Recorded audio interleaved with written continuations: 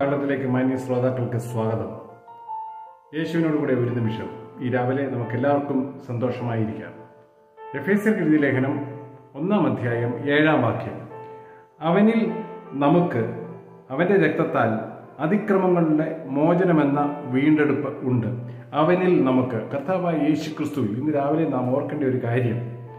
നാം ദൈവത്തിൻ്റെ മക്കളായിരിക്കുമ്പോൾ നമ്മെ വീണ്ടും കർത്താവ് ഓർപ്പിക്കുന്ന ഒരു കാര്യം നമ്മെ വീണ്ടെടുത്ത ദൈവത്തിന് നന്ദി കരയേറ്റുന്ന ഈ നിമിഷങ്ങളാണ് എങ്ങനെ വീണ്ടെടുത്തു ഒരിക്കലും കരകയറി വരാൻ പറ്റാത്ത അനുഭവത്തിൽ നിന്നും ദൈവം തൻ്റെ സ്നേഹാധിക്യത്താൽ സ്വന്തം പുത്രനെ കാൽവറി ക്രൂശിൽ യാഗമായി നൽകിയപ്പോൾ അവിടെ ചൊരിയപ്പെട്ട തിരു രക്തത്തിൻ്റെ ശക്തിയാൽ നമ്മെ കർത്താവ് വീണ്ടെടുത്തു അപ്പോൾ ഇവിടെ പറയുന്നത് അവനിൽ നമുക്ക് അവൻ്റെ രക്തത്താൽ അതിക്രമങ്ങളുടെ മോചനം എന്ന വീണ്ടെടുപ്പുണ്ട് അതിക്രമങ്ങളുടെ മോചനം നാം അതിക്രമങ്ങളാലും പാപങ്ങളാലും മരിച്ചവരായിരുന്നു ഇന്ന് രാവിലെ നിങ്ങൾ ദൈവത്തിൻ്റെ വചനം കേൾക്കുമ്പോൾ യാത്രയിലായിരിക്കാം അല്ലെങ്കിൽ ഭവനത്തിലായിരിക്കാം അല്ലെങ്കിൽ കിടക്കിൽ എഴുന്നേൽക്കാൻ തുടങ്ങിയായിരിക്കാം പക്ഷേ ഒരു കാര്യം നിങ്ങൾ മനസ്സിലാക്കണം നിങ്ങൾ ദൈവത്തിൻ്റെ പൈതല മക്കളെ എന്ന് നിങ്ങൾ വിളിക്കുന്നു എങ്കിൽ